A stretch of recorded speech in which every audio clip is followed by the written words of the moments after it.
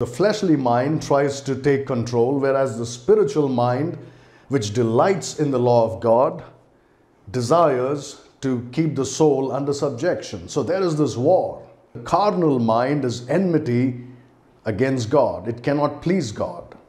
Whereas the spiritual man with the spiritual mind, renewed mind, is the one that should be in control. That's how God wants it to be in the born again Christian. The mind should always be alert, sober.